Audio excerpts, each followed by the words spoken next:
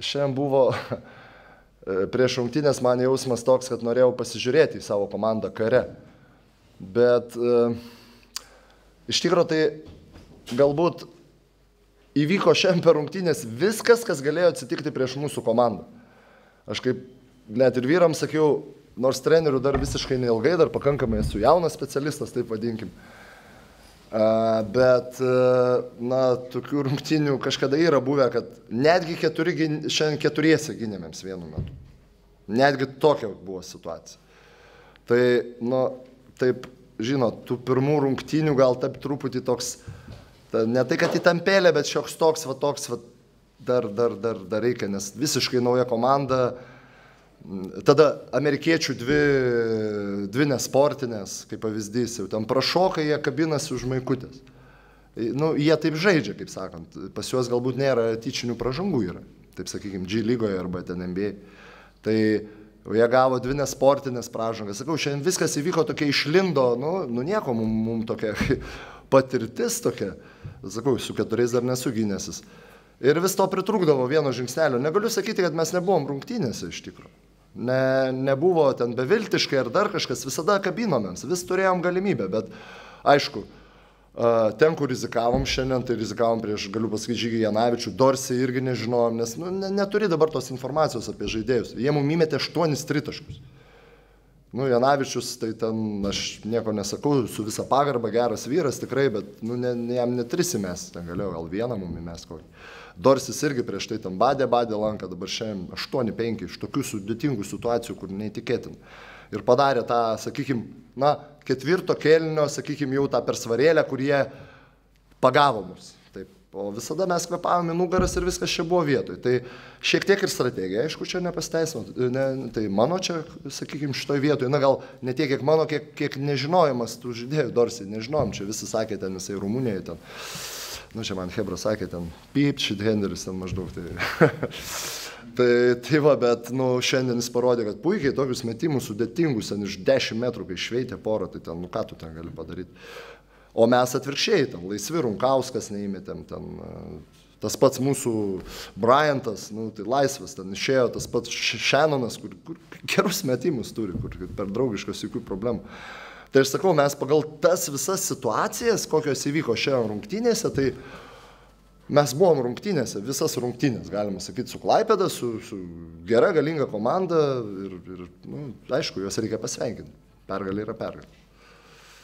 Treneris sako, kad jūs gynėtės keturiesi, tai ką iš jų turėjote omeny, kad gynėtės? Buvo vienas momentas, sakau, Šanonai, sakau, tu keiti Mariu. Išėjo keturi, žiūriu, gynamėms keturi, aš ieškau vieno penkto žmogaus. Atsisukau, žiūriu, kad jisai sėdė ant soliuko, bėg greičiau tik tais. Nu ką jau ten, galite kas deda iš viršaus. nu, o tokie va bairiai, įsivaizduokit, treneri. Normaliai. Pamiegojau ten mano visi, kas ten turėjo tą irgi, aš negaliu visko sukontroliuoti. Nu, tai, kaip sako, šiandien gavom pamokų tokių, kad nu, nemiegam vyrai, nemiegam.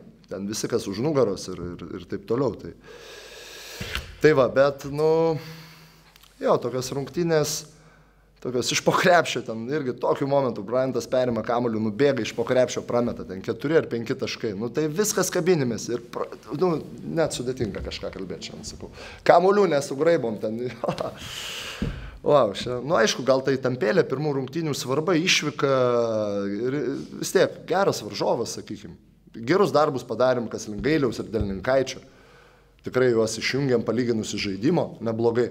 Susitvarkėm, akcentavom tą dalyką. Bet, nu, vat, sakau, mums iškai žygis su, su, su, su, su Dorsi, kur rizikavom, gavom 8 tritaškus, tai truputį... Jo, ir tai dar čia 13 taškų gale, Nebuvo bloga gynyba iš mūsų pusės, negaliu aš ten, ten labai. Aišku, gaila, va, Julius dar, Julius irgi trūko, sakau, viskas įvyko, kas įmanoma. Julius timtelėjo čiurną nestipriai, su ledu atsisėdo trečiam kelniui. Runkauskas irgi į raumenį gavo, nu tai toks, nu,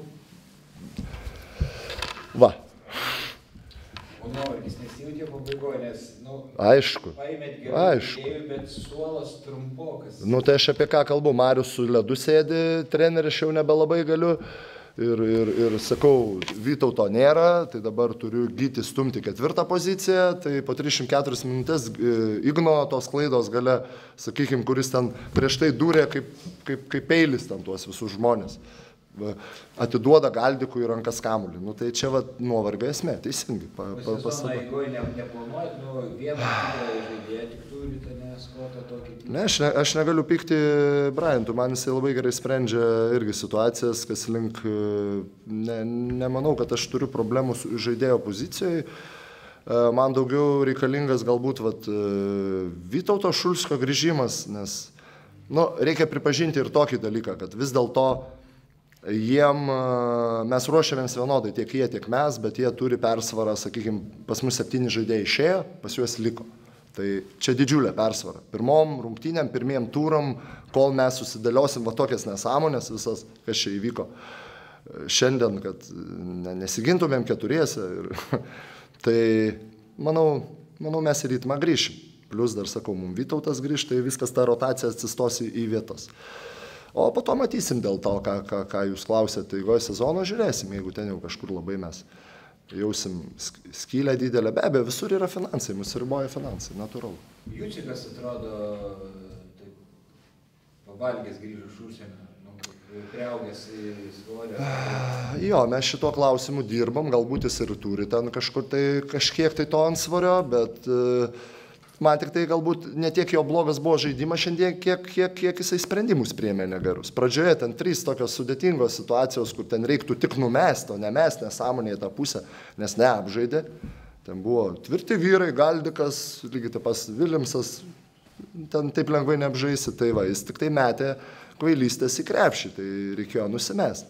Po to jis kada tą padarė, buvo visai kitas žaidimas. Mes pradėjom grįžinėti, aišku, sakau, tos mūsų nesąmonės, ten tie praradimai, tyčinės kažkokias, tai visiškai tokia dar ir ritmo nebuvimas, bet mes jį susigaudysim. Tai treneri, jūsų komentaras apie rungtynes. Na, rungtynės buvo įtemptos, tokie, sakykime, daug, daug keitėsi.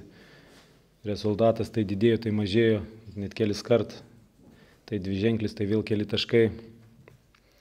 Na, bet džiugu, džiugu, kad e, pavyko, pavyko rasti e, pas mus žaidėjus ir ne vieną žaidėją, kuris e, svarbiais momentais sužaidė, kaip pasakyti, pagal, pagal tą, ką buvo, buvom suplanavę. Aišku, Darino keli metimai, ypač tie, kur baigiantis atakus laikai, tai mums tai mum pridėjo tokio pasitikėjimo ir išlaikyti atstumą. Kaip jums pačiam tas debutas buvo? Nu, nėra debutas, jau esu buvęs ir treneriui. Na, aišku, smagu, kiekvienam treneriui yra svarbu pradėti sezoną pergalę, tuo labiau, kad žaidėm prie savų žiūrovų. Tai čia ne tik tikriausiai treneriam, tai ir žaidėjim. Viskas normaliai, viskas gerai. Šiandien toks pliusas, turbūt jūsų komandos ilgesnis atsarginių žaidėjų suolas. Na, tas ilgesnių suolas greit sutrumpėjo. Neturėjom ir gyčio, kaip matėt, ir, ir, ir tadas dalinai negalėjo. Tai įeidavo, tai vėl nebegalėdavo žaisti, rungtynį negalėjo baigti. O, bet taip, patenkintas rotacija, jeigu žiūrint iš e, rotacijos mes gavom, iš e, žaidėjų nuo suolo gavom 39 taškus, tai yra tikrai dideli skaičiai. Matas Jogėla vos prieš porą dienų prisijungė prie Neptūno, bet atrodė tarsi šitai komandoje visą, visą pasirašymą prabuvo. Matas geras vyrukas, aš jį stebiu jau ne pirmus metus, aš e, norėjau, kad jis būtų pas mus jau ir vasarą, tik tais prasidedant komplektacijai, atsiradus tokiai galimybėje, aišku, aš to pasinaudojau ir džiaugiuosi turėdamas pas savai. Ar galėtum pasakyti, tau Galėčiau. Žaidimo filosofija skiriasi nuo Kazio Maskvyčio, aišku, jūs kartu dirbot, gal panašiai mastot, bet identiškai visiškai vienodų trenerių nebūna. Tai nepaslaptis, vat, e, kuo, kuo jūs galbūt skiriatės.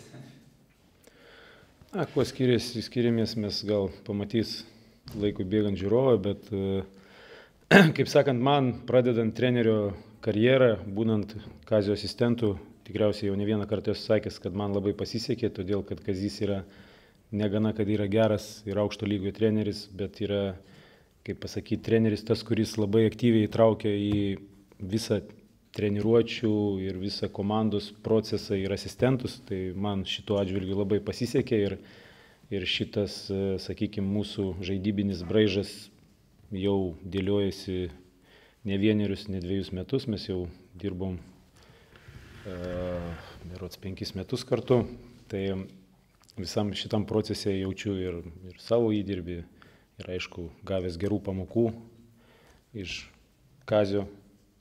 Tai manau, kad tas braižas mūsų jau anksčiau matėsi kažkiek tai bendras, kaip, kaip pasakyti, buvo ir, ir mano idėjų. Aišku, jis kaip vyr treneris priimdavo galtinius sprendimus, bet tuo, tuo atžvilgiu man labai pasisekė, kad aš turėjau tokį, kaip pasakyti, kolegą, kur galėjau ir pats aktyviai dalyvauti ir, ir, ir semtis patirties. Bet taip nėra, kad visą laiką šimtų procentų pritardavai, ką įsiūlydavo, kokią taktiką ir, ir panašiai. Ar sa, sa... Nesupratau klausimų, tu prasme, kaip, kaip pritardavai. Nu, bet e, jūsų požiūrį kartais išskirdavo? Taip, tai natūralu. Natūralu. Tai, kad jis buvo tas treneris, kuris mes ir ginčydavomės ir dėl kai kurių situacijų ir jis pats mane rakindavo ginti savo nuomonę ir, ir, ir tik tais, vat, sakykime, tuose diskusijose gimdavo ta viena nuomonė. Ačiū. Ačiū. Žodžiu, tą padas Nekerskį užsiminėte, bet jis porą kartų prašė keitimo, tai kas jam nutrūko? Nežinau, gal daktarai ten daugiau pasakys, man atrodo, jam paprasčiausiai sutraukė raumenys, kažkas tai tokio panašaus. Ir apie keitimą siūlį nežaidė, kokia būklė. Taip pat daktarai pasakys, nu, jis e, tikėjomės, kad gal galės pradėti sportuoti, bet dar, dar daktarai prašė, kad, kad, jo, kad jis nežaistų. Kažkas yra jo, jo su, su nugarą, su, su, su mušim per draugiškas varžybas buvo nukritęs, tai vis dar atsistatinėja. Tikimės, kad greitai grįš į rykiuotę.